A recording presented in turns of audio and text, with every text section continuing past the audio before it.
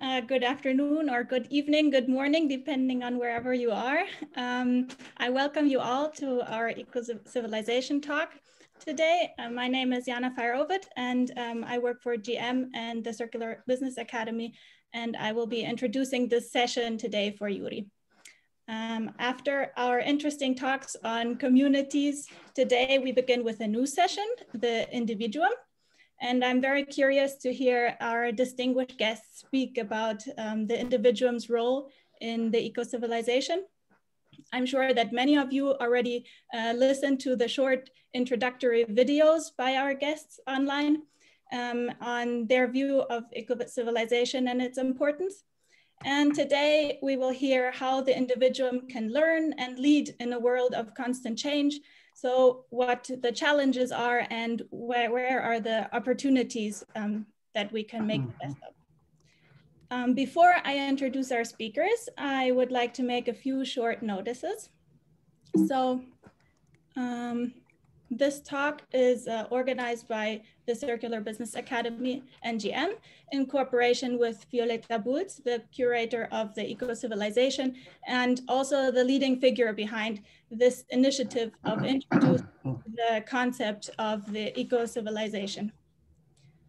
Um, the talk is free of charge, which is due to the funding of the Public Fund uh, for Scholarships and Professional Training of the Republic of Slovenia, and we are very thankful for this. Today's talk is one in a series of um, talks on the eco-civilization that started in spring. And this is our journey to imagine and to discuss the, post, uh, the possible societal implications of this future world. As we see it, um, the transition to an eco-civilization constitutes a paradigm shift. And we would like to engage every single one of you in this discussion. So this is why we ask you to please um, send us your thoughts in form of an essay. And we will publish a certificate at the end of the autumn cycle of these talks. For this talk, um, there are some simple ground rules so please contribute to the conversation. You can do this by raising your hand. And whenever you're not speaking, we do ask you uh, to mute yourself so that uh, you don't interrupt other participants. And as always, this talk is recorded and the materials will be available on our website afterwards. But now, finally, I would like to introduce today's speakers. So we all know Violeta Bulc, who is the curator of the Eco-Civilization and the former EU Commissioner for Transport, and she's going to be moderating this talk. Um, with us, we have our guests. Um, first of all, Curt Carlson, who has uh, extensive work experience on innovation and entrepreneurship. He is a professor at the Worcester Polytechnic Institute and Northeastern University, and he teaches value creation and innovation. He also served on President Obama's National Advisory Council on Innovation and Entrepreneurship. Um, as a CEO of SRI International in Silicon Valley, um, he worked from 1998 to 2014. And during this time, SRI became a global model for the creation of high value innovations. His team also won two Emmys, one for HDTV and one for optimized satellite broadcast image quality. And he has also helped um, start over 25 new companies. so welcome to this talk. Welcome, Curt Carlson.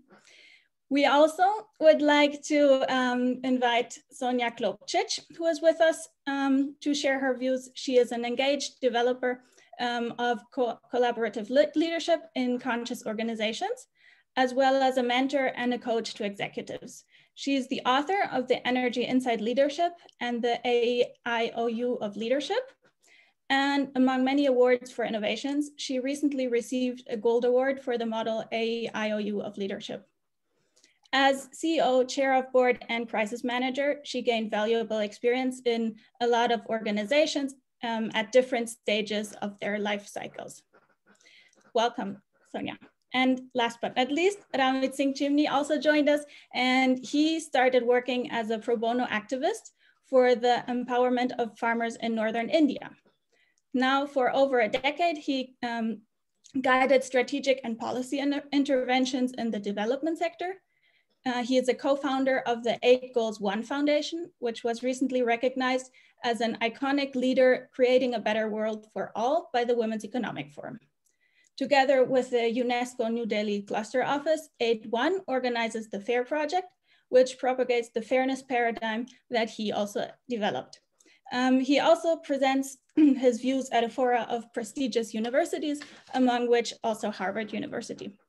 So welcome, Ramit. Um, welcome, everyone. We're looking forward to your contributions. And without further ado, I would like to give the word to Violeta Bulc to start this talk. Jana, thank you very much. And uh, a warm welcome from me too. Jana, if you could disengage uh, from the shared screen, would be great. Um, and uh, we can now engage directly in the conversation. It's been uh, an incredible ride since uh, this spring when we started with these conversations. And uh, it brought so many uh, fresh ideas, bold views uh, into our circle because at this point, we really do not have answers, but we have more and more really good questions. And I'm sure that today's conversation will uh, be a strong contributor to exactly that, raising more questions, raising more interest in open uh, cross-planetarian uh, dialogues. And as uh, Curt said before, there is a lot of different countries present uh, today at this talk. And um, let's uh, help each other. And would you mind just writing in the comment uh, line uh, in a chat which country you're coming from. And uh, we will have then even better view over uh, our audience and um, who is with us uh, today in this virtual uh, dialogue. So um, without trying to go too much into the broad perspective, let me just go straight into today's talk and uh, Jan, I will ask you to just take a look at what's going on in the chat room, and maybe later on you will share that information with us. Um, as Jan already said, today we are continuing with our discussion on eco-civilization. And uh, today's focus are beings. Today's focus is really individual uh, contribution to the society, to the development uh, stages, to creation of the momentum when things flip. And uh, of course, this is part of the bigger, bigger picture, which uh, we envisioned at this point. This might change completely uh, in the future, but for the sake of our conversation, we created this framework, which has five core entities that we believe should be the essence of uh, civilizational uh, engagement altogether. Uh, not to worry about tools, which we often do, uh, being different economical models, education models, um, stock exchange, technologies, industries, but to really put everything in a relationship of the essential elements that hold life, that create space for life which are beings, not only humans, but all other beings on this planet Earth, societies that get created uh, with the engagement of these be uh, beings, knowledge and wisdom that uh, is evolved and recognized uh, and uncovered uh, throughout the, the evolution, uh, which I call consciousness, land that holds us, feeds us, and give us a space within on, where we can really cooperate, meet, uh, live, and of course, relationships that glue all this together. And today, the focus is on being. Jan already mentioned that we had an extensive discussions in the last two sessions on communities. We look at the global perspective and from the local perspective. And just briefly, I'd like to share a few of the uh, elements with you because I think they will matter for today's conversation. This is the model that we were addressing in the dialogues. And you can see that beings came in through the purpose and intuition and of course the relationships. And during the discussion, these five key questions started to emerge. What brings us together? What keeps us together? Who drives the development and what leads towards new civilizational paradigm? But at the top was all the time this question, who are we? And um, at the end, I tried to pull together a little model, which of course needs more work on it. But the reason why I decided to show it to you, because in spite of the fact that we talked about communities, we actually could not avoid but talking about individuals as well, individual level. Uh, and these are the elements that came through very strongly. Identity, culture, values, emotional relationship, trust, behavior, curiosity and exploration, and vulnerability. And throughout the conversation, I have to say that trust was the most oftenly mentioned. So I put it at the top. So uh, with that in mind, I'll move to today's session. Again, uh, the discussion around the individuum will be uh, will emerge around two parts. Today, we will focus on our abilities, abilities to learn, engage, understand, and I'm sure we're going to broaden the aspect even more than we expect. Uh, and on November 2nd, we will uh, discuss more uh, personal uh, view, which will be the connection within. Uh, we will talk about heart, soul, mind, and higher self, and the way how these dimensions get challenged by all these dynamic, uh, very much unpredictable changes that we are all facing today along with the corona crisis but i think that's just one of the elements because they it, this corona crisis of course coexists or serves on the top of many uh, challenging things like globalization like climate change like digitalization uh, and uh, what's the future really about uh, shared values and uh, currently very unfair redistribution of created value. So all those are big questions within which we sometimes feel so small. We feel that we cannot do anything. But I hope that even today's session will prove how important the individual in all this scheme is and what can we do? How can we position ourselves in order to not only be shuffled around, but actually to, to co-create uh, the wave uh, of life.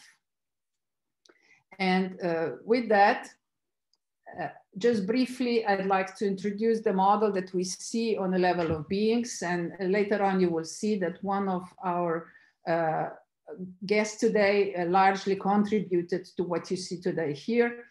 Uh, and uh, what I'd like to bring your attention to is really the complexity of beings that exist on this planet Earth.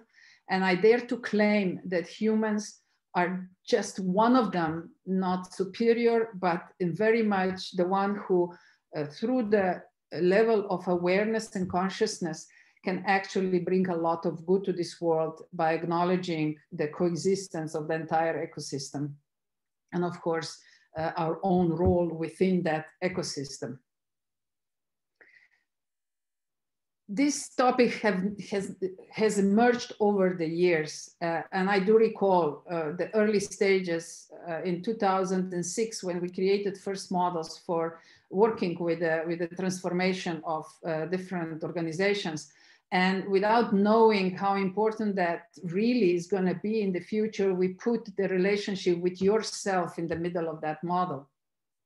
And later on, when uh, through the Inco movement, which is very closely to, uh, related to one uh, with one of our guests today as well, more about that later, uh, we created also a new view over what can really the what what is the individual and touch the soft parts and for the first time brought intuition into the business modeling, uh, which was at that time quite a shock but today it's a common practice and you see it everywhere. But through that we showed, and this is the last uh, picture that I'd like to share is this human, uh, six human dimensions uh, that really open up the space to uh, think not only in our holistic, uh, more spiritual life, but also in a day-to-day life, in business life, bring these soft elements strongly on board and understand humans as a complex, holistic being that has, uh, besides physical and intellectual level, a strong emotional, spiritual level, social dimension. And at the end, all that gets reflected in the capacity of the energy that one of us possesses and can then manifest in a day-to-day life. And with that in mind, uh, let me turn to our guests. I know you're all very anxious already to, to hear them, to see them, to feel them, like I'm excited too. Uh, and they were already introduced before, but uh, so I will still claim a space uh, when I introduce their core topic uh, to talk with them a little bit about who they actually are. And the first one I'd like to sort of invite on board, if I may say that so, is uh, Curt.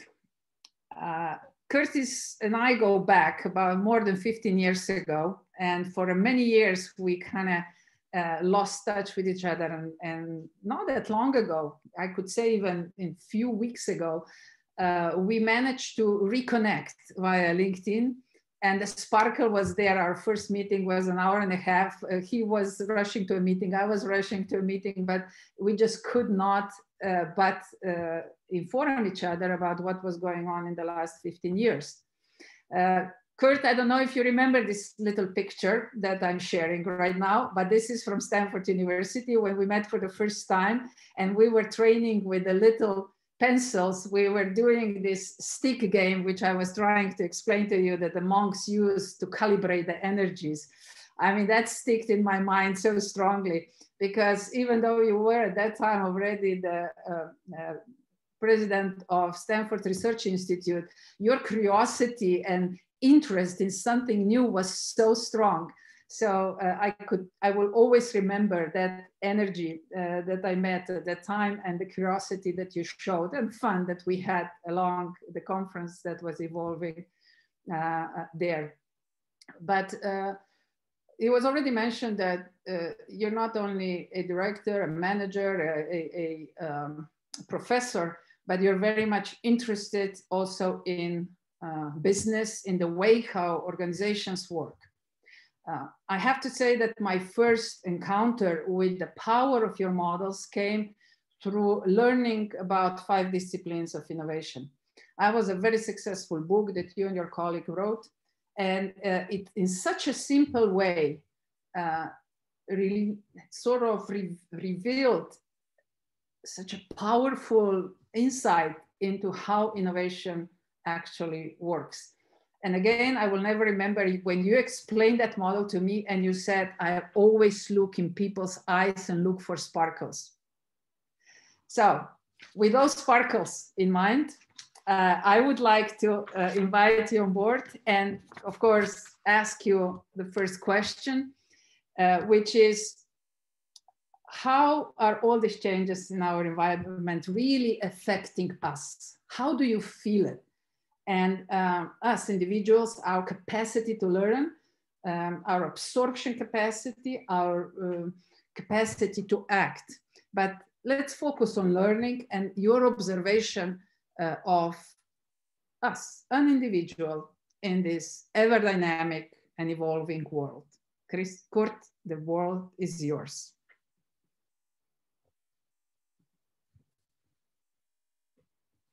Please unmute yourself, Curt. Uh, thank you for that. That was some introduction. And we did have a love fest when we met. Uh, I, I think we hugged at the end of it. so you're you're very huggable, that's for sure. And um, and um, this is a really important uh, topic uh, to discuss, and particularly about you know where the world is going, what kind of skills people um, need to have, and and how do we give them those skills. So, um, you know, when I went to SRI, it had been failing for 20 years. It was about to go bankrupt. Um, everybody hated each other because when you're failing, it feels like a world of scarcity. not a world of abundance. And you blame everybody else when that happens. And there are parts of the world and parts of um, every country that are like that. And it's very unfortunate. Um, but um, my point of view in this uh, discussion is going to be when you give people the skills, um, it's really quite remarkable uh, what they can do. I mean, it starts with the individuals. It starts with the topic of this um, uh, discussion today is that um, what we discover around the world, it's not just in America, it's in China and India and all the places we've worked, is that so many people lack the kinds of skills to make the full contribution they could make. So, for example, the people here today, I everyone here I assume is a value creator. Now that's a, maybe that's not a word you would use, but everybody here wants to solve problems that'll make a contribution to the world. That means basically you're an innovator, you're a value creator.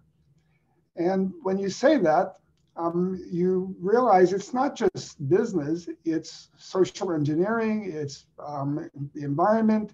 Um, all the problems we have require individuals to have the skills to address those big problems that uh, Violeta uh, laid out so nicely. They're all going to be done by people who um, see the opportunities, ask the right questions, as you just said to start off with. That's the, where it all starts with asking the right questions. And then how do you um, work and assemble the teams to be able to solve those problems? So what we've discovered around the world is that very few people have those skills. So the reason I'm now a professor at two universities is I saw what happens to people who have been failing for 20 years when they're given those skills.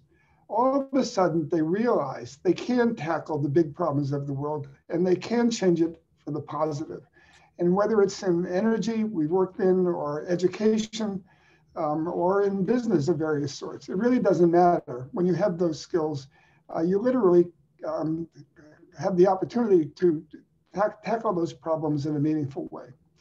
So then you ask the question, well, if if our job, if everyone here's job is value creation to solve the world's grand challenges, and if you accept the premise that very few people have those skills, which we can go back to if you want, then the question is, what's the best way to learn?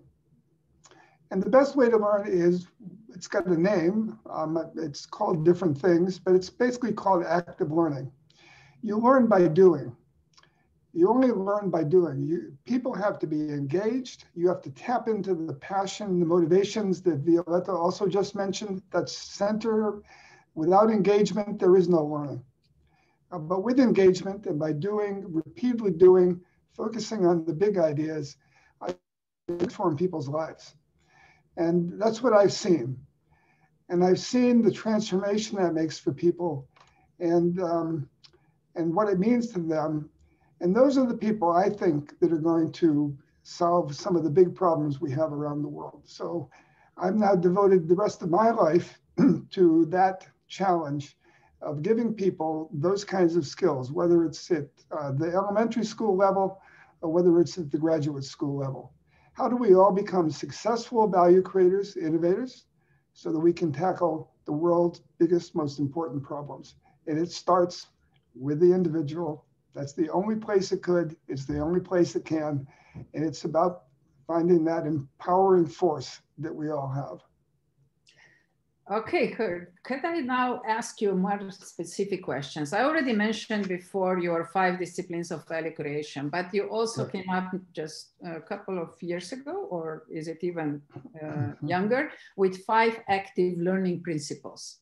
And your first learning principle says iteration with real time feedback. Why did you yes. put that as the first one and what does, what does it really mean? Well, the, fir- the first one actually above that, and the paragraph above that, is engagement. So people mm. have hmm. to be engaged first. So once they're engaged, and the way you keep them engaged is by doing the task. So whatever it is, if you want to be a carpenter, you need to be engaged in doing the work. If you want to be a musician, you need to practice eight hours a day for, for 15 years or 20 years uh, to become a master um, musician. But it's also true of social engineers and entrepreneurs. So, for example, we work a lot with people who want to work on the social side, um, but they don't have the, the skills to put together the teams and form the ventures and do it in a sustainable way. so many of the social entrepreneurs we see want to do great things, but they're not permanent. They're not sustainable. And the goal is to make them sustainable. Um, so they have to they have to do a lot of work to learn how to do that before they can actually be masters at that. So it's the doing and the overdoing, the doing. And in the doing, it's not just doing and failing. People say it sometimes it's about failing fast. It's not about failing fast, it's learning fast. When you're doing, you also need to be, have the feedback, which is how you get the learning, um, you get the input um, to help you learn fast. So it's doing and learning fast is the name of the game. But inside that, uh, there is one important element that kind of uh, really pleasantly surprised me. And this is the importance of a real-time feedback. What can you yeah. say about that? Well, if it's not real time, you tend to forget it or you ignore it. so, so, so yes. So in all of the work we do, um, it's uh, real time feedback is a is a is a steady feature of it, and it comes from um, from multiple points of view none of us is smart enough. Not, nothing I've done, but, but I remotely think that I could do by myself. It's just absolutely impossible. I mean, all the things that are on your list, uh, Violeta, are multidisciplinary, if not interdisciplinary. And they take the input of many, many people, sometimes hundreds of people, to who have the right perspectives and knowledge to be able to put together um, the innovation that you want to create. So mm-hmm. you, you need to get those multiple feedbacks because you, no matter who you are, you don't know enough. That's true.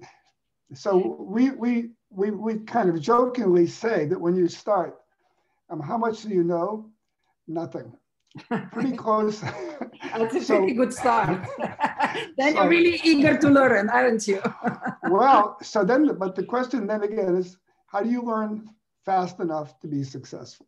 Let's and, put and, let's put at this point in your concept of mental models because okay. I, I found this very innovative as well. Could you explain your motivation behind this important second point?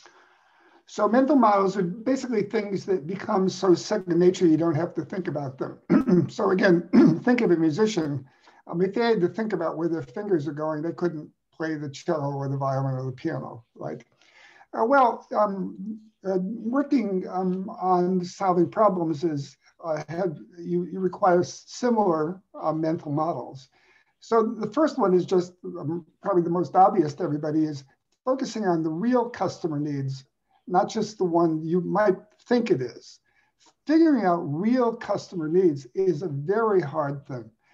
And you, you can assume as a rule that when people come in to talk to you about a problem they want to solve, they never frame the need correctly. We've done, we've done workshops with 500 teams around the world.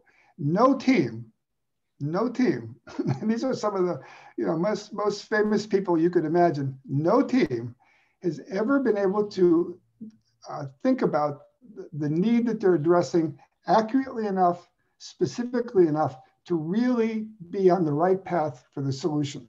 So that kind of thinking, after a while, if you if you do it often enough, becomes kind of a mental model. So um, uh, my my teammates now, when people come in and present, they immediately start taking them. We call it from 100,000 feet down to ground uh, level where the real need is.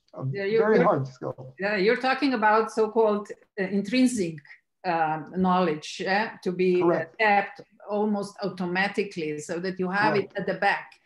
Uh, how, how long does it take to, to develop something like that? To have this um, amazing model in the back of your mind?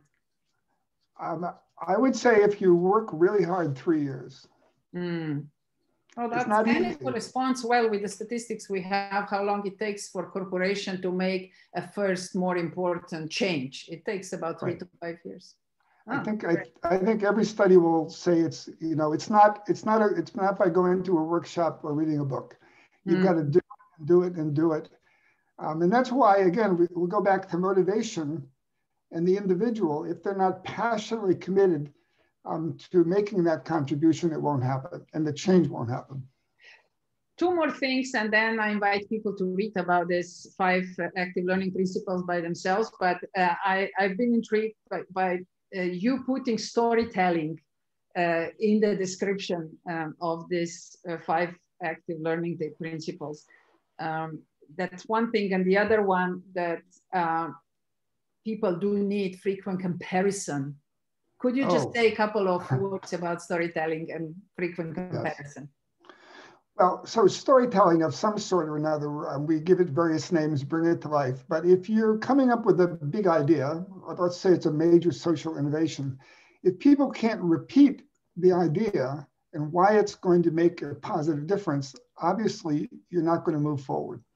So one of the one of the challenges, particularly when you work with technical people like I do a lot, is they go into all the detail and they forget that other people can't move forward unless they can tell your story.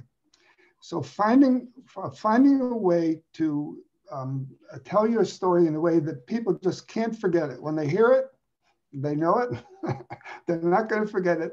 Uh, becomes fundamental um, to making progress. And by the way, with your team and recruiting your team, as well as in getting investments and getting politicians and others to, to listen to you and, um, and make it happen. Uh, the comparison part is a, an interesting part about learning. And it's often forgotten about. I, I would say it's the thing that's missing from most methodologies that I see in a lot of education. One of our great skills as humans is making comparisons so Violeta, when you when you have lunch, do you compare the options you have? No, of course. what about what about a car? When you buy a car, do you compare the options? Well, don't ask me about that. But when I buy glasses, yes. okay. Okay. But when you do research, you compare data. We, we're comparing the temperature in the room, the lights in the room. We're, we're comparing things all the time. And it turns out that's a really powerful way to learn. So in the methodology that we've developed that we now teach that you mentioned, um, the comparison part is really fundamental. So what does that mean? That means when um, the students come into the room and they present their, their value propositions for what they're working on, uh, we use a very simple framework. Um, so nothing, you can't, there's another principle. Any system that's too complicated doesn't work. it's got to be really simple or else people don't do it. So we have a very simple uh, list of questions for them to ask. I mean, they all um, basically one after the other they present and they get feedback and it goes really fast. So the, there's no delay so you can kind of forget it. But the learning happens, one of the, the powerful ways that learning happens is the students look at one presentation, then they look at the next one, they look at the next one, and they look at the next one. And because they're basically framed in a similar way, they can actually compare, oh, that person really did address the need. Oh, their innovation really does have a sustainable model to it. Oh, that one really does differentiate itself from the competition. So um, it may seem a little abstract here, but boy, I'll tell you, if you can set up a learning environment where that kind of comparative learning takes place, it, it, it looks almost like magic how fast it goes because they motivate themselves. You don't have to motivate people. Uh, it's always friendly, but their competitive juices kick in because they want to keep on doing better and better. Um, and most people don't do that. Most people don't do that. They do individual instruction as opposed to this kind of team feedback, uh, which does this comparative learning phenomenon.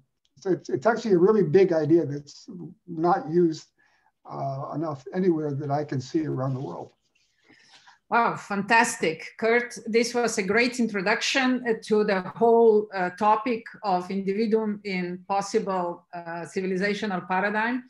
Uh, we will get back to you uh, with some very concrete examples where you were able to use these five active learning principles. But before we do that, let's turn to our next guest and create uh, this wholeness um, of our discussion together with two additional guests.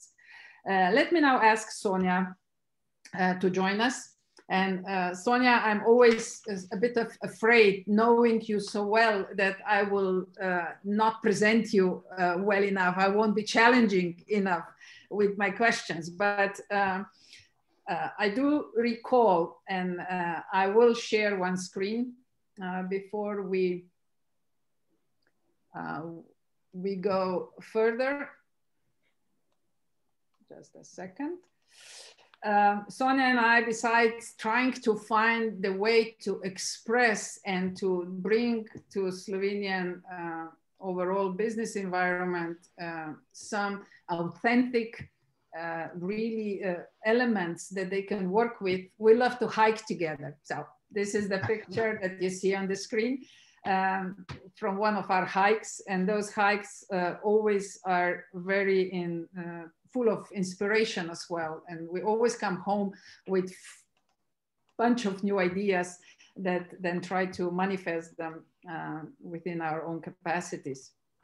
But uh, Sonja went through the incredible life story uh, from uh, being uh, an engineer. Uh, we met at the university, Electrotechnical University. And then she started soon a career as a manager uh, went through all the necessary experiences uh, that manager has to go through from sad to extremely happy and successful stories. Uh, and throughout that, uh, she accumulated uh, a, a, rich uh, set of experiences, as Curt saying, very important. But at the same time, she was always trying to make a step further, build on those experiences and offer something back so Sonja, it's great to have you with us. And uh, I would love to hear your thoughts on uh, what do you think is the role of individual uh, in this ever-changing world and in, in what is the individual possibility to co-create a change in the world in the future and what is happening to our capacity to lead, to engage, this is your specialty. Sonja, the, world, the, the, the floor is yours. Thank you. Thank you, Violeta. I'm really glad to be part of this dialogue today and uh, have the chance to co-create, to add my part to the, this evolvement of the idea of eco-civilization. And as Curt said that everyone is a value creator I would say that everyone is a leader, at least of her or his own life. But some of us, we have also a greater responsibility, uh, also formal um, position of leading people. And I would start my thinking about how may an individuum contribute to this eco-civilization from perhaps a different angle. I would start with a picture. Uh, I will, uh, just a moment, I will share my screen. Do you see it? I'm starting with this picture made, created by a 16 year, year old artist and this picture for me is a symbol how we are all interdependent and how we are all connected, but looking in different directions, not talking to each other. And this picture for me is a symbol that we need to start discussing, engaging in a dialogue to collectively shape what is the best future for us. And that's why I'm so excited that today is also one of the spaces that we can be engaged in this co-creation. So for me, this picture is also, also a symbol of our children, grandchildren, a wake-up call for us. A, start looking each in uh, Uh, in other directions, but start collectively sensing and shaping what is needed for the future. And for this, I think that we need to be aware that not just mindset, we need to cultivate our heart set because heart is usually the one that gives us motivation to do something and also in the times where we are perhaps forgetting about the climate change because of the coronavirus. But if we start to think about the climate change from the perspective of our grandchildren, then our heart set will lead us I believe, into a different direction. We will start to think how to create a decent living conditions for our children and grandchildren on our planet. And perhaps we tend to overlook another set. There's also a consciousness set. A consciousness, universal consciousness now allows us to be co-creator, to really engage, to really lead for the best. And this is something that we need also to cultivate, to nurture. So the complete set, mindset, heart set, consciousness set, and to have this global picture in mind is necessary to start engage in a dialogue and to really um, each of us as individuum uh, to bring to the table our own talents, our own capacity, and start creating a clear picture for all of us. Sonja, let me yes. ask you at this point. This is such a beautifully said. Is this consciousness set and this global perspective that prompted you into delivering this wisdom from five continents? And what is this wisdom from five continents? Please share it with us this is, yes, this is consciousness set because I felt that we as individuals now are in a different position to really lead, engage, and co-create because universal consciousness is also evolving. And this gives, gives us the leverage. So uh, we need to expand our awareness, not just to our local problems, but, but start to, to look at the world from the global perspective. Because climate change is something we need to tackle as a humanity, as a one family together. It doesn't help if uh, in one part of the world we are uh, creating um, zero emissions and so on, but on the other part of the world, world we are polluting. That's why, yes. And, and from this perspective, I really created this five-dimensional model uh, of leadership, uh, bringing together the elixirs from five continents. Aroha, for example, meaning leading with love, which is totally different from managing with force, or ape, meaning leading with systemic view, or ikigai, living with purpose and mission. Uh, oikos, ekos uh, is pronounced in Greek, uh, meaning creating value for all stakeholders, planet one of them. And Ubuntu, meaning building trust-based relationships. So this is the five dimensional model that I believe that it could serve as a path for each individual. And I was really grateful that you, Violeta, included this model uh, to a model of eco-civilization. That's one of those that I mentioned at the beginning that the, it will be revealed during the interview. Indeed, this is the basis for our being uh, entity.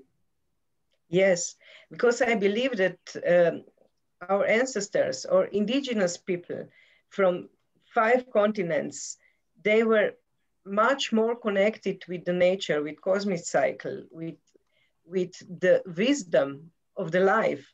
And we forgot some of uh, this wisdom and, and we erased some of these connections and that there's a time to remember again to bring it back and of course to combine it with the technology, with all the knowledge we have nowadays.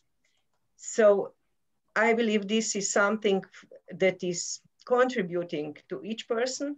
But on the other hand, we have people that are leaders of organizations, leaders of countries, leaders of companies, and they have even greater responsibility.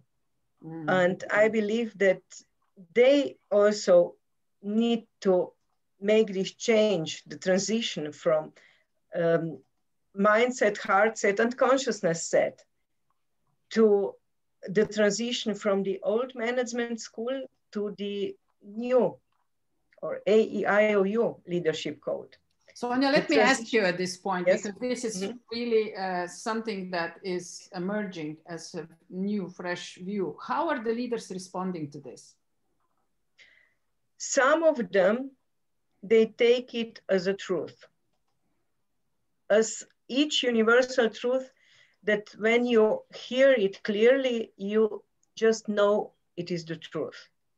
Some of them are resistant to this because this old training, uh, old narrative is so still so imprinted in them, but not just in them, it is imprinted also in our society. Mm. We are always talking about competitive, uh, competitive advantage uh, for profit for owners, for vision of one person, and so on from uh, that all the decisions needs to be made uh, at the top and so on. So this is something that we need to dissolve. There's not, we don't have a switch to, to switch it uh, in uh, one moment, but uh, we need time and we need some enlightened leaders who will lead the way Mm. But uh, let me ask you here, because one of your approaches together with your colleague uh, to, to spread this new understanding, this new awareness is through mentorship. And uh, if you if we took a deeper look at the five active learning principles, we would see that uh, one of the details is also employ mentors and not just teachers. And you're also exercising that. Uh, share a little bit the experience of this kind of teaching. Mentoring and coaching um, is very important because it broadens a perspective. For example, to understand uh, how to make the transition from the competitive advantage to uh, work with a mission and purpose. Uh, when I was a coach to um, leader of one company who was um, involved in a debt collecting. Uh, and I offered a broader perspective. What is really their role in this line of business, if I may say so? And he came with a completely different view. But your collecting. new line of business was? Debt collecting. Now that was the old one. What was the new proposition? The new, the new one was to understand the business as the supporter of the flow of the money. Exactly, that's an incredible shift. And if you understand that your mission is to really do everything to create uh, all the needed in all the needed circumstances that the flow of the money mm. would go through through company through to company then your your approach is completely different mm.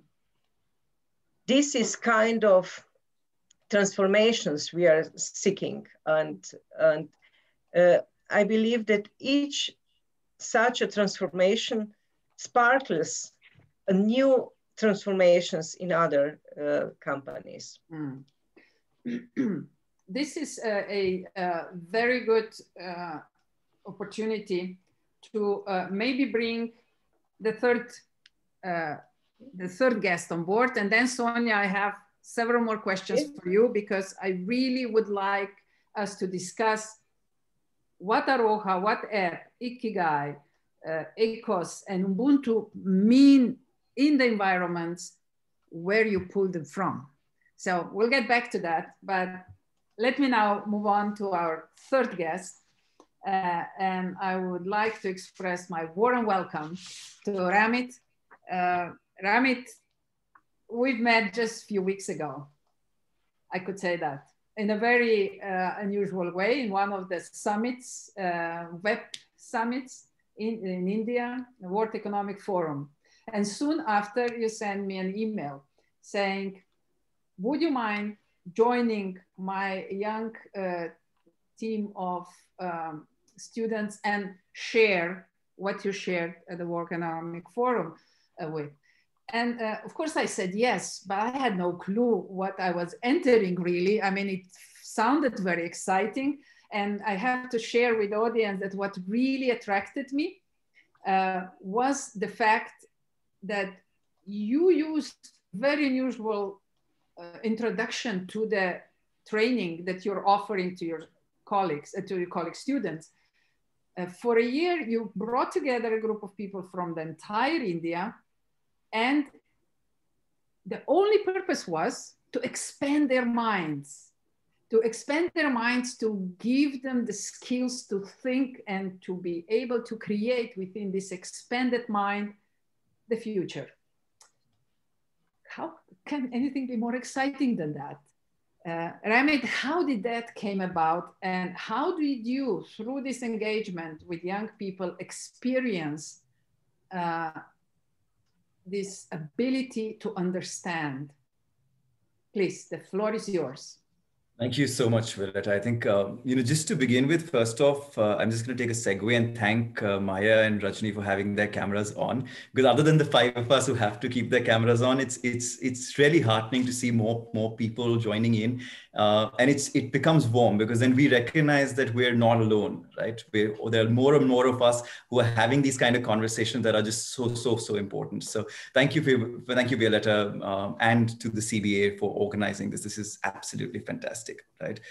Uh, how did it come about? Um, I'll tell you, Violeta, I think it, it, came about a lot from what I was seeing all around me, at least here in India, uh, with the youth, with myself as well, is uh, the fact that we've all seemed to be always running out of time, right? We always seem to be on a clock and uh, life just needs, seems to be moving extremely fast, right? Um, and at different times, you know, I, I, noticed even Curt and Sonja mentioned this in, in different ways, uh, where Sonja very categorically said that we need time.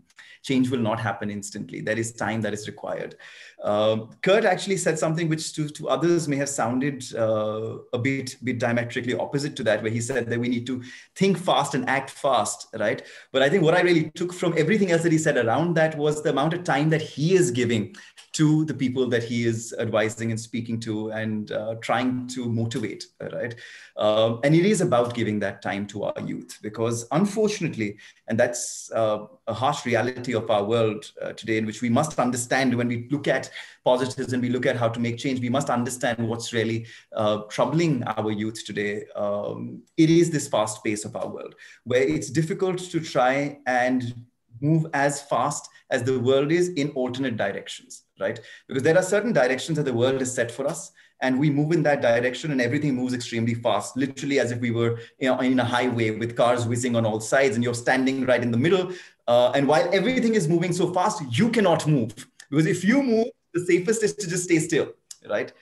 Um, and that's where I realized that a lot of our youth today doesn't have that freedom to move to be able to explore, right? And when move not just physically, but move in their minds and move their thoughts and so on and so forth. Where, where we said, as what you very, rightly said, it was literally as simple as that, that, uh, you know, let's get together and let's talk.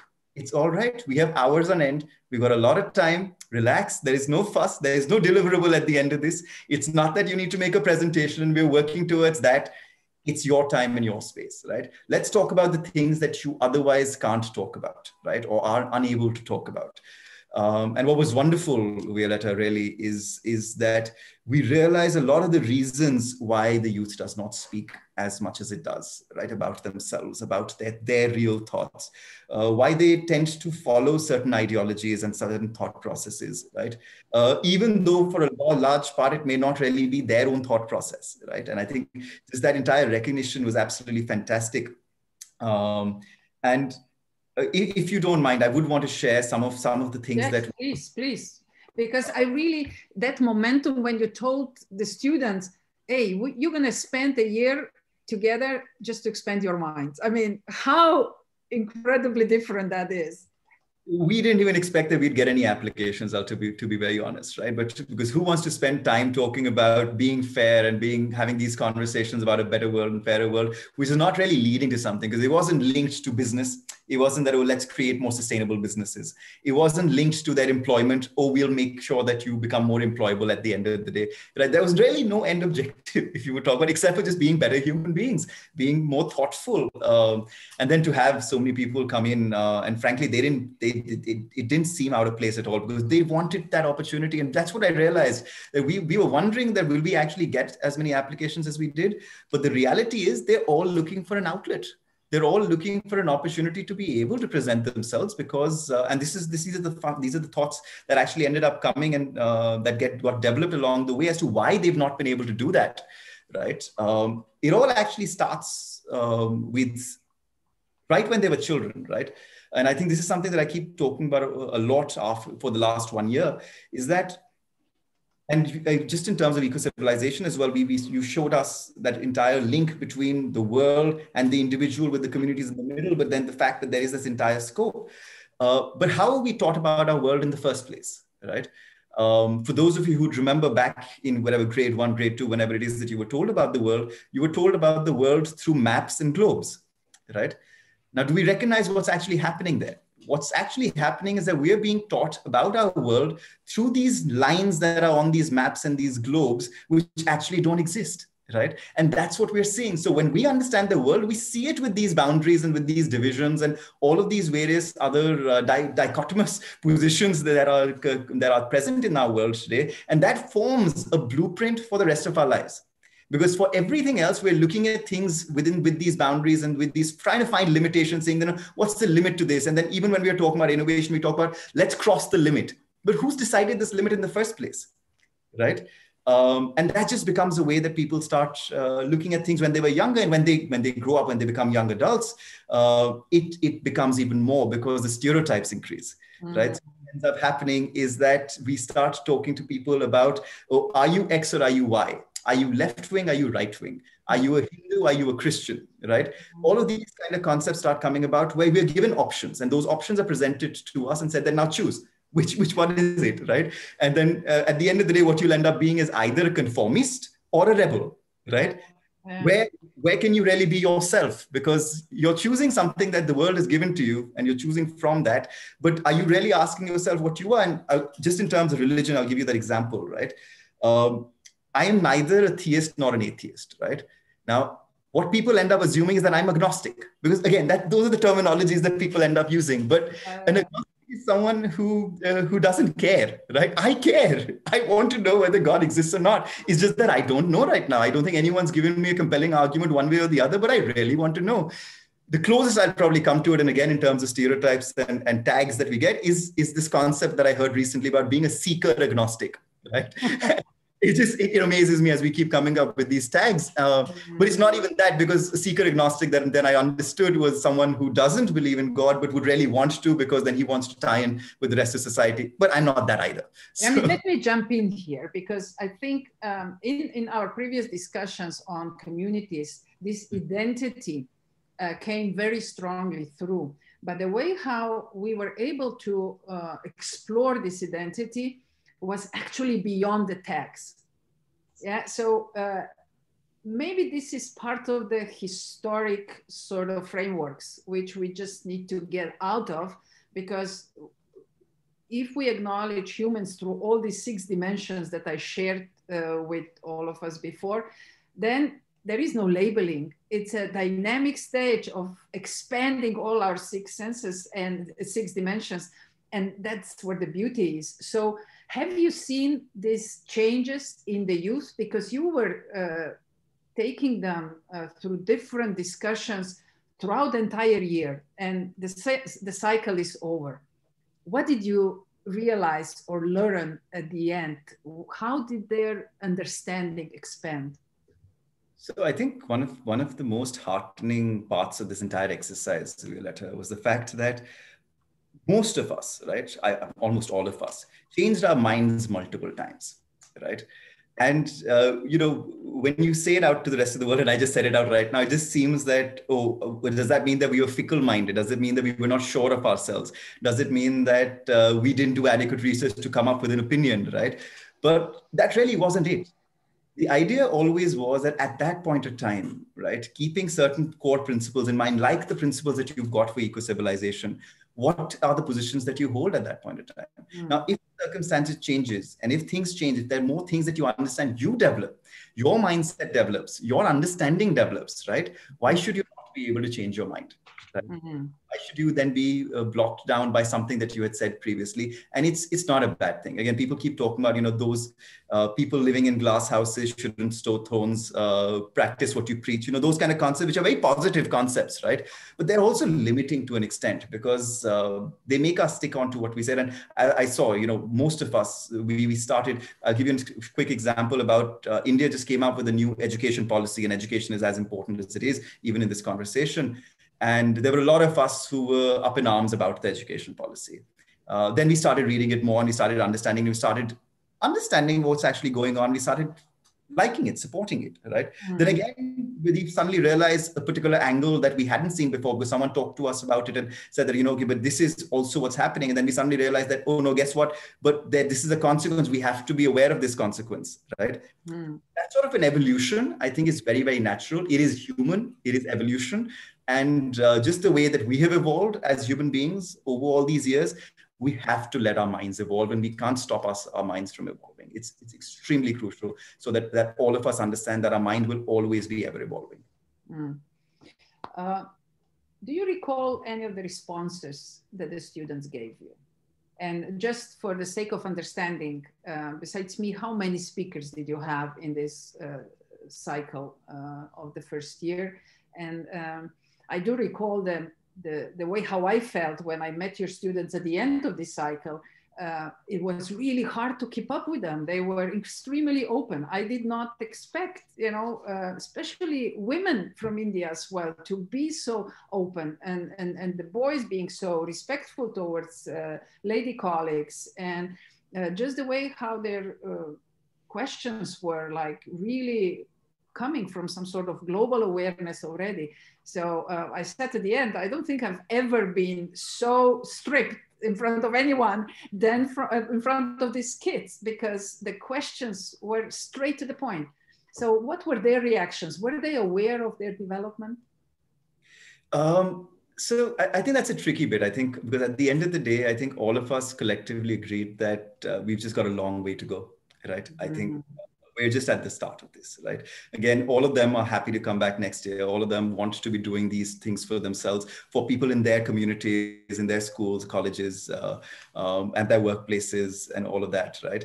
But uh, I'll tell you, you know, just because you've mentioned our interaction, uh, I will tell you the, the other side, their side of it as well.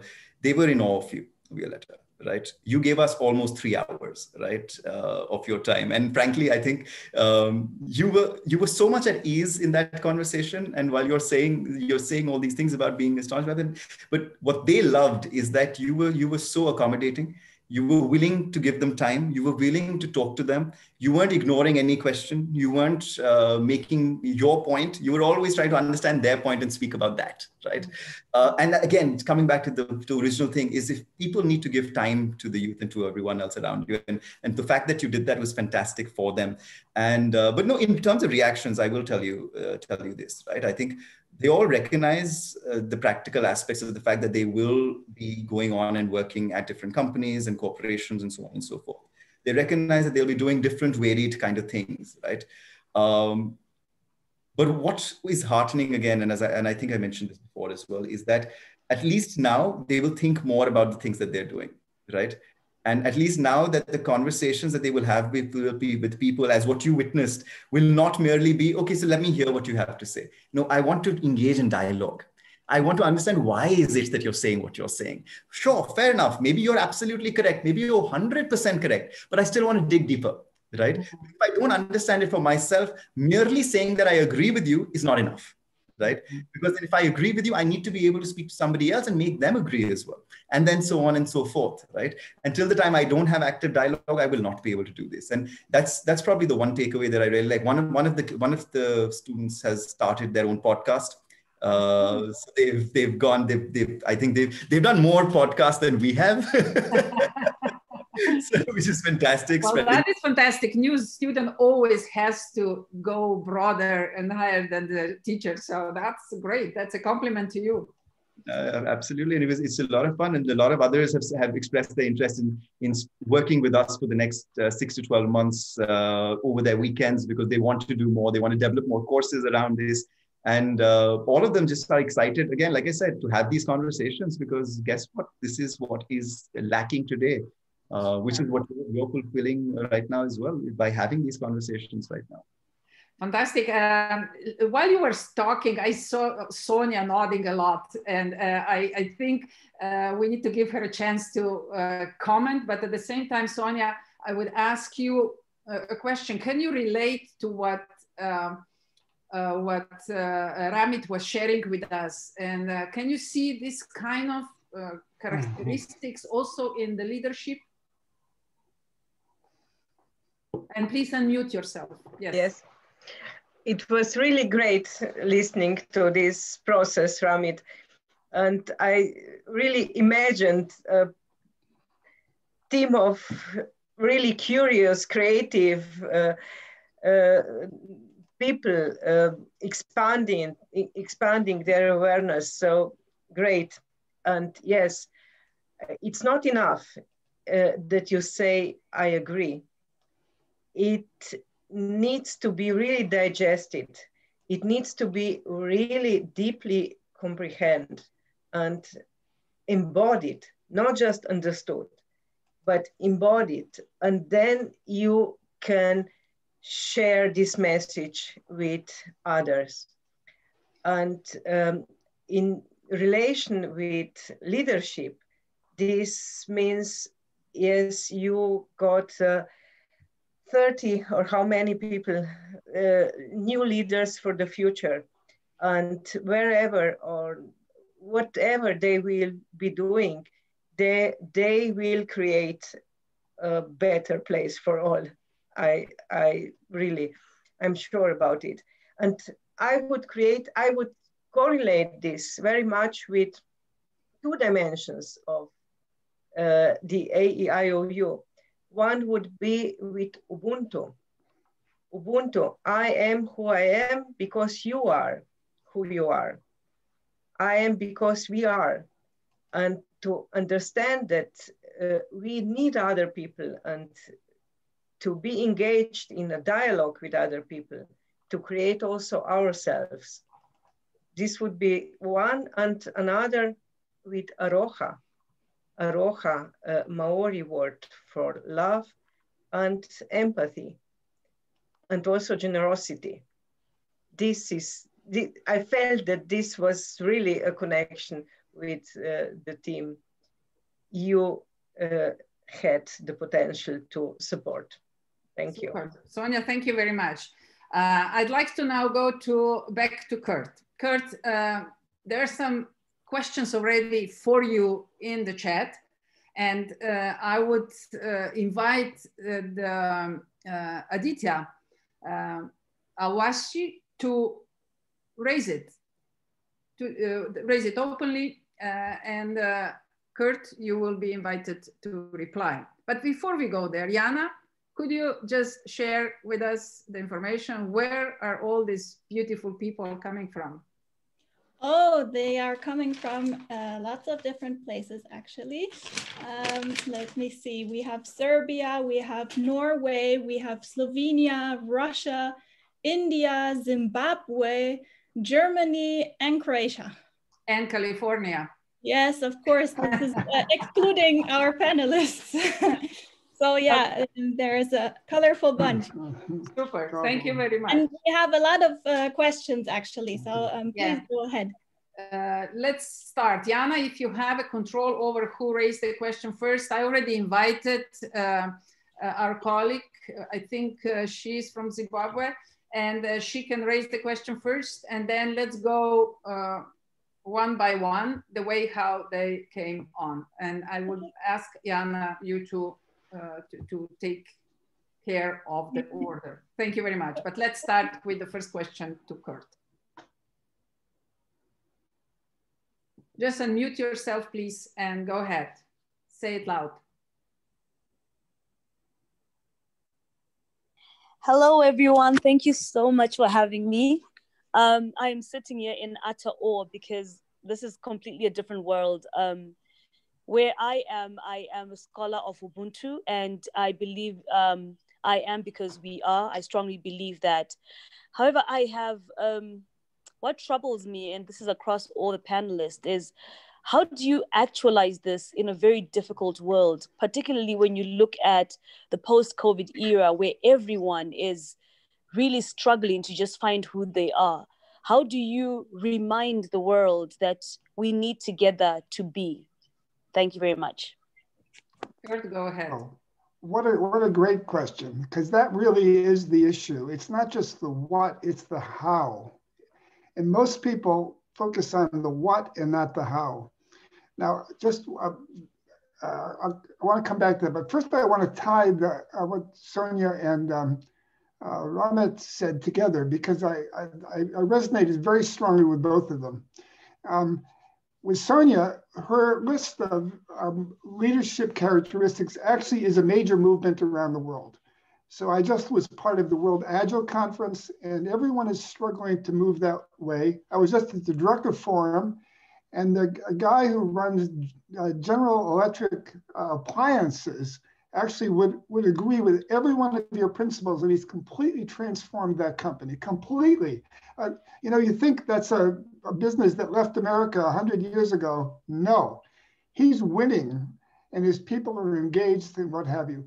I would say your word, your word love is a little, probably a little strong for most CEOs. So, um, but empathy, involvement, respect, those human characteristics are fundamental to the new management that we see around the world. Curt, Curt, do you want to say that love is not fundamental to human being?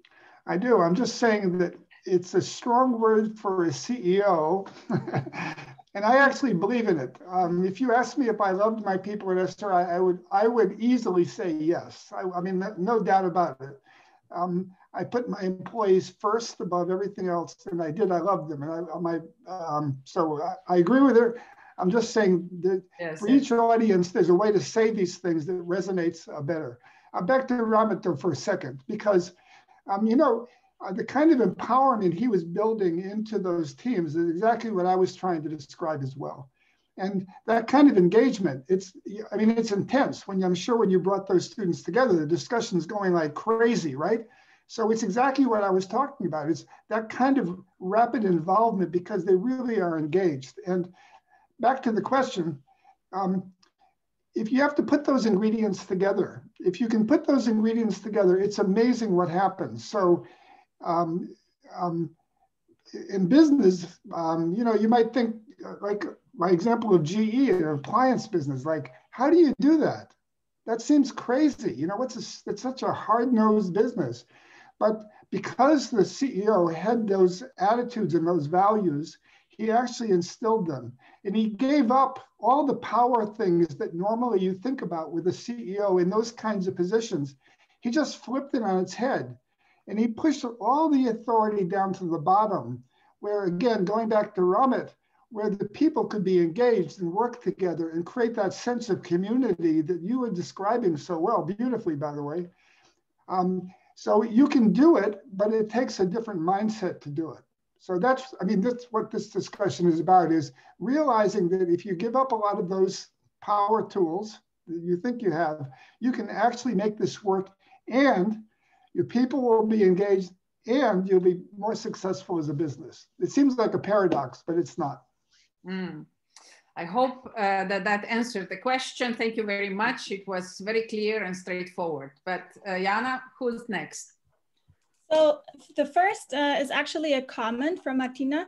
Um, she was um, saying about your concept of eco-civilization um, to think about the inclusion of fungi and algae as they represent their own kingdom of beings. So, yeah, I saw that comment and yeah. uh, thank you very much. Definitely we are adding it to the whole family of beings on this planet Earth. As I said, the whole model is in evolutionary phase and at the end, we will co-create it. So this is a very important little addition. Thank you very much. Then we have a very practical question from Dimitri to everyone.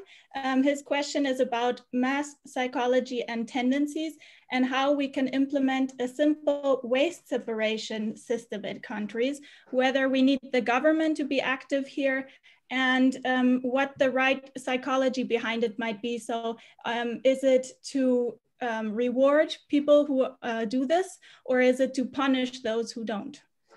Well, that is a question I would like now to ask our three guests to reply to it from their three different angles. It's a question of circular economy, but all everything we've heard today, um, it, it's very applicable. So Curt, from the capacity to learn, how can we attack that problem better? From the capacity to understand Ramit, how can we uh, engage better? And Sonja, from the capacity of leadership, how can we engage better in order to get this done? Please.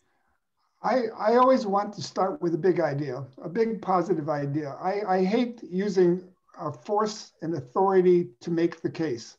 And mm-hmm. usually there is a big idea.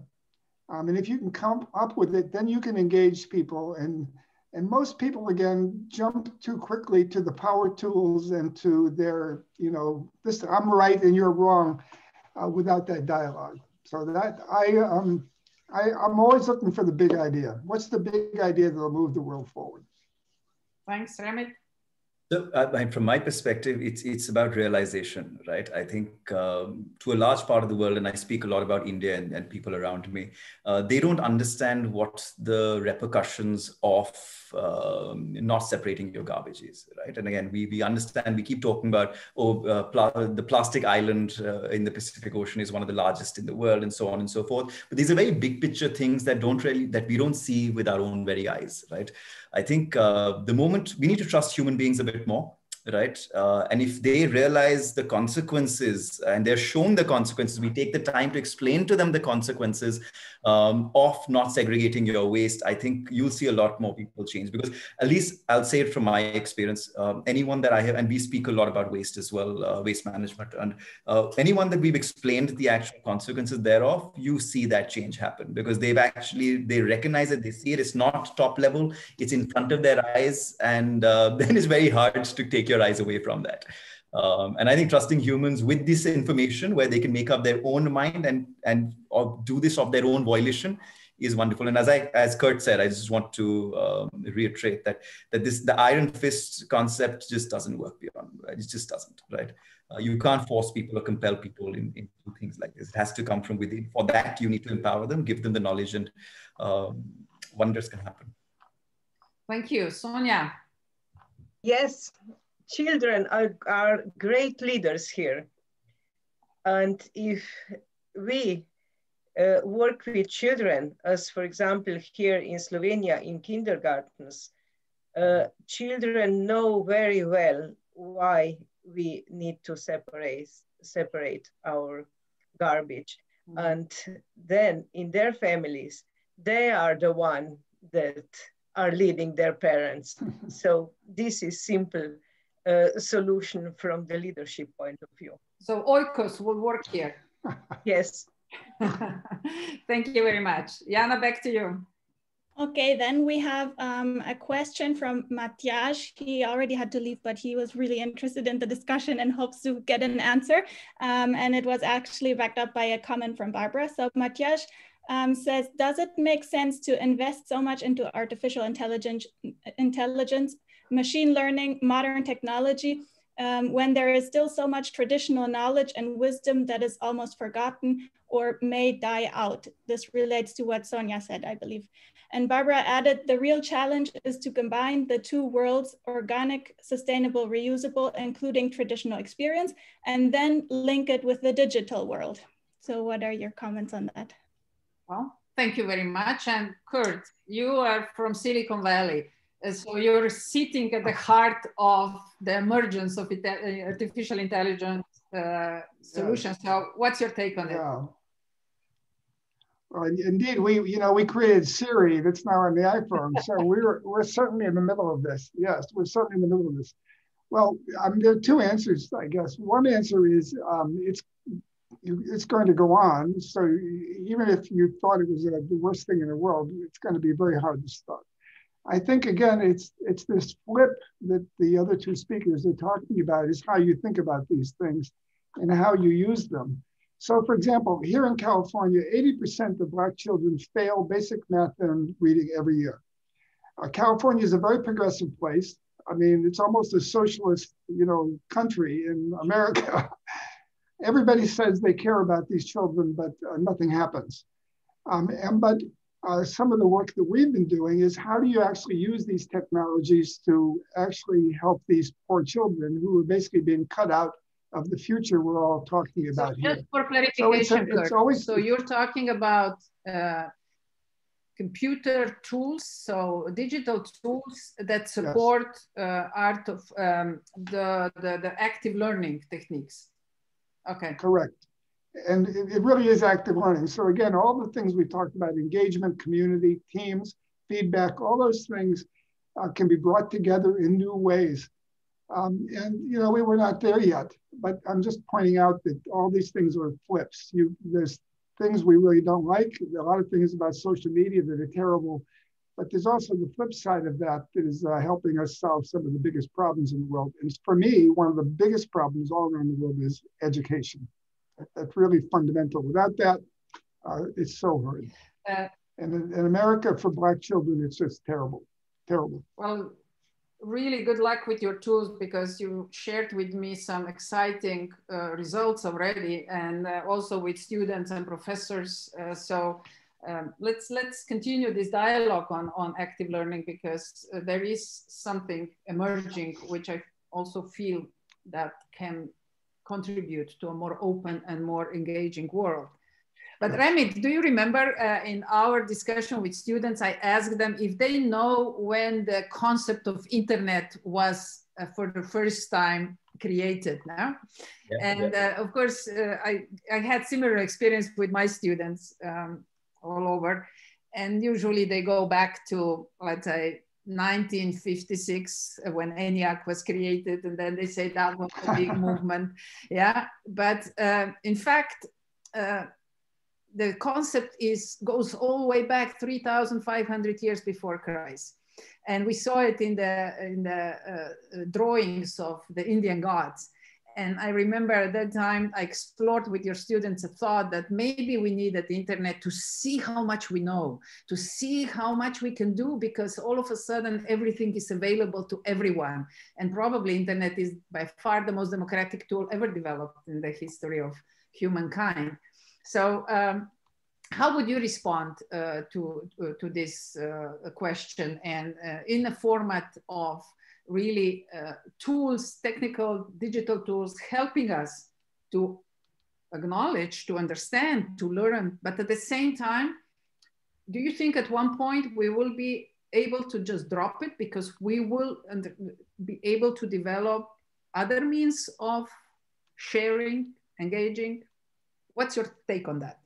So I'll tell you, Violeta, and I think uh, just to Matjaž and, and, to what Curt said as well, I think uh, I personally have always been a very, very major uh, skeptic of technology, right? Uh, majorly so, and that's not because I'm anti-development or I don't, I don't want to unleash the power of the human mind and so on and so forth. But it's the direction that technology ends up taking is what I really uh, always worry about, right?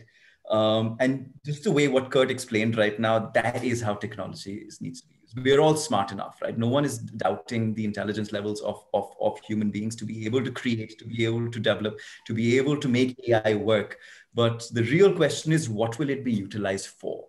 Right. And that is where I think we just need to make sure, all of us just need to make sure that we are pointing our efforts, our growth, our progress, the speed at which we are growing in the right direction, right? Uh, and it may not always be possible. It's absolutely okay, but then we need to then empower those individuals who are trying to make it move in that direction. Like Curt, Curt mentioned absolutely uh, perfectly that the real thing that AI and ML that uh, Matjaž was talking about can solve is education, and that's so much needed in our world today, right?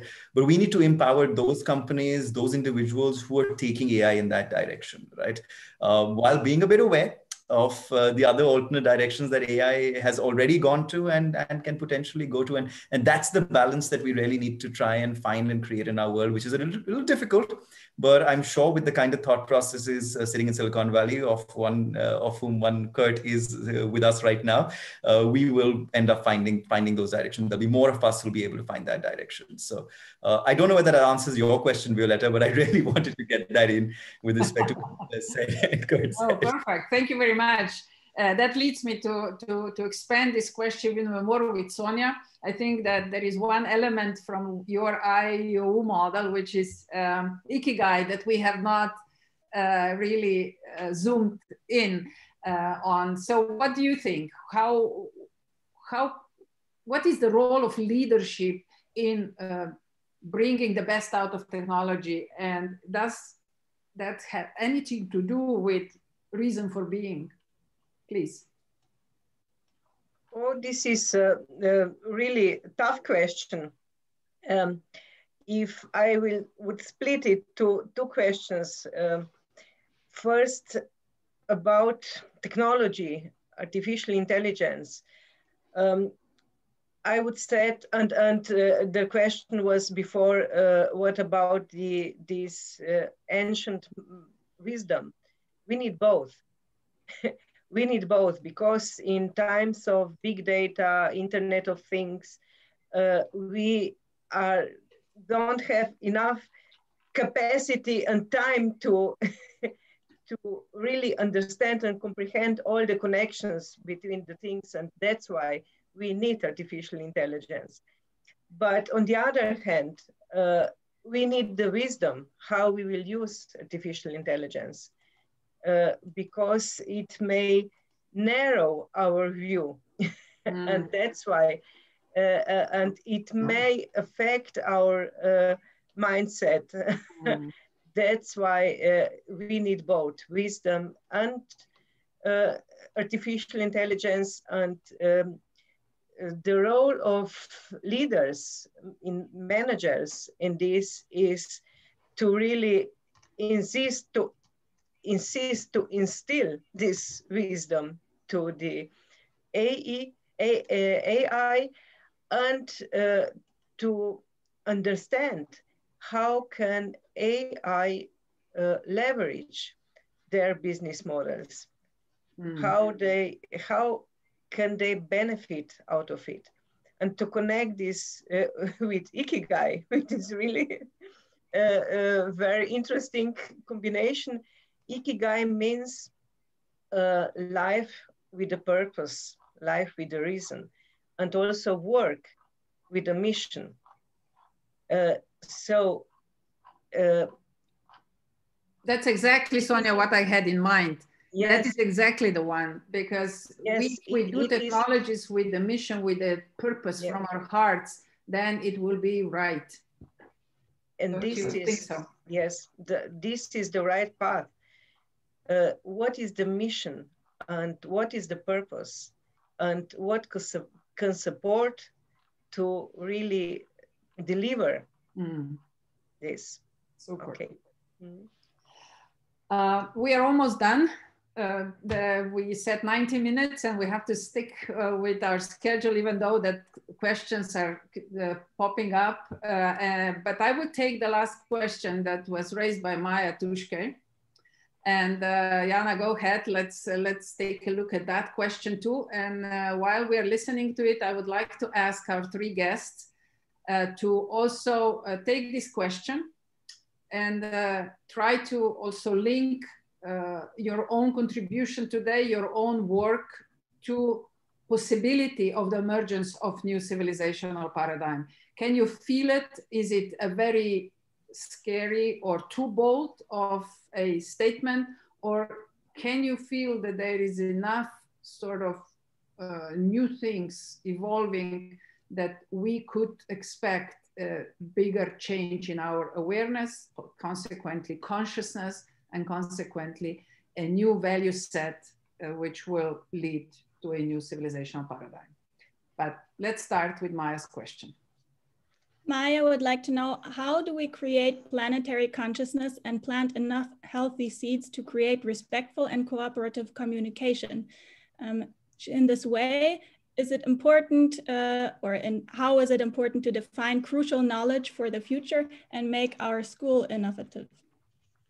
Let's start with Sonja now and we'll go backwards. Sonja, go ahead.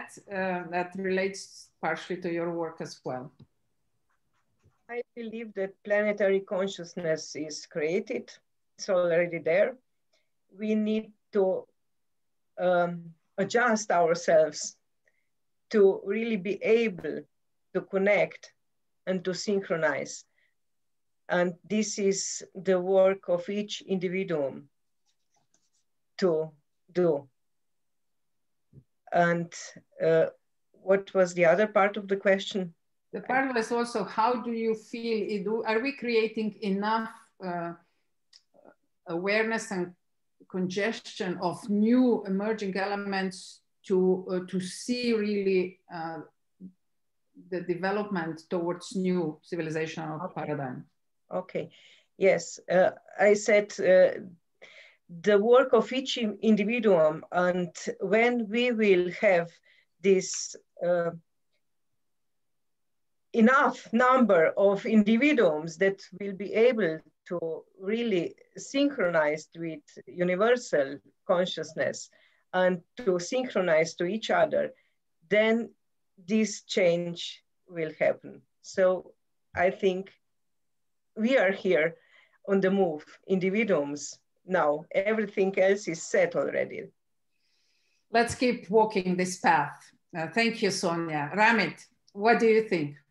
So I'll, I'll be very honest with everybody. It's an extremely difficult task right i think we need to recognize how difficult it is and once we recognize how difficult it is we will put in all the effort to make it happen right so can it happen 110% it can happen right if that was a possibility mm. but uh, without re- recognizing how difficult it is mm-hmm. without recognizing that there are a lot of people in our world who are motivated with the reverse of what we're talking of right now, right? Uh, and they will always have uh, motivation that can sustain them, right? We need to make sure that our motivation also sustains us, right? Where these conversations are not one off, these conversations are not a single dialogue. There are more and more of these dialogues that we all help create all over our world right? Uh, whether it's in our own houses, whether it's on a global scale like you've done, Violeta, uh, or wherever it is, right? As mm-hmm. long as we continue to have these conversations, and as what Maya said as well, right? I think she's she's talking about creating respectful and cooperative communication. The key part of that is communication, and I honestly believe um, language has lots of forms. It's not just the words that we speak. Um, if I if you're sitting with somebody who doesn't speak your language and in their homes, you will find a way to connect if you're if you're willing to communicate, right? And that's what all of us need to do, and we can. It's difficult, but it is definitely achievable if we all get to it and keep at it. So keep at it, everyone. That's that's really what I'd like to say. Thank you very much, Ramit. And Curt, now we started with you. We will uh, finish this uh, conversation with you as well. So what's your take on all this? Well, I think it's happening. Um, the groups that I belong to um, are having these discussions now in a way that didn't happen even five years ago. Uh, when you go to the World Agile Conference, and this is the topic with companies all over the world, uh, that's a, a change.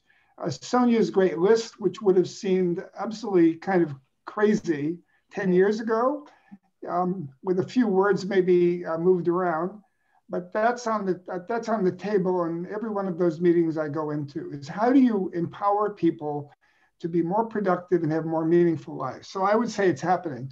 Uh, I say a good word for technology. Uh, we can't solve the problems of the environment or um, uh, poverty or education without technology. It's not going to scale fast enough to make the impact. Uh, the good news is even though we're, you know, we're, we're, we're looking at this environmental issue that's uh, horrifying in the extreme, uh, innovation is actually going to solve that problem eventually. Uh, the solutions are already been identified and where people are working on them. So uh, that's the good news on that side. I mean, you think about this technology we're using right now. This, this is still a very primitive technology. Mm-hmm. Imagine this technology 10 or 15 years ago and the level of collaboration that's going to be possible between any place in the world in the worst parts of Africa or India where people are just, you know, desperate for knowledge and for education. It's going to basically make the world transparent. I often talk about the transparent world, and we're going into that. So this discussion is just going to keep on being amplified. So I, I think there's a, a lot of um, great uh, progress. I see it in the education schools that I, I'm part of. Um, active learning, though, I think is part of it. It's this engagement in doing and doing and doing. Uh, that's how you get people to have the right skills, the right values that uh, Sonja and um, Robert um, mentioned. Uh, and it's, it's going on. It's just slower than anybody wants. That's all. it's a lot slower than we want. That's why we're here, right? Exactly. Thank you very much. Thank you to Curt, to Ramit, and Sonja. Uh, this was a very broad, engaging, and very uh, future and today oriented discussion. Um, I'm happy because uh, the topic individuum and eco-civilization is yet another topic which is expanding our minds. As, uh, as many uh, philosophers often say, once you expand your mind, you create space within which you can engage. So broader your mind, broader the space for engagement. So I do hope that uh, we have done a bit of that today. Uh, I'm so grateful to all of you who joined us uh, from all continents uh, of this beautiful planet Earth. And uh, don't forget, uh, November 2nd, we continue discussions on individuum and eco-civilization. This time we will take a look inside the human being uh, with some very interesting guests. I'm not going to reveal them yet, so please check our emails and uh, posts on social media to learn who these guests are. But uh, I certainly hope that our today's guests will stay uh, part of our uh, community uh, we will keep you informed, guys. Uh, you're always welcome to join us, and we hope to have you back in even more provocative engagement because simply, as Yukert said, we're going to know more. So thank you very much to everyone, and be safe, be healthy, and keep creating. Great job. Thank you. Thank you. Also from my side, thank you for joining today and check out the website and um, inform yourself about the topic and the speakers. Um, thank you for today. And today's discussion will be published uh, in a matter of hours uh, on the web pages, again on CBA and on the eco-civilization page uh, and conversation continues. Thank you. Fantastic. Thank you, Thank you. Bye. Bye. Thank you. Thank you. Take care.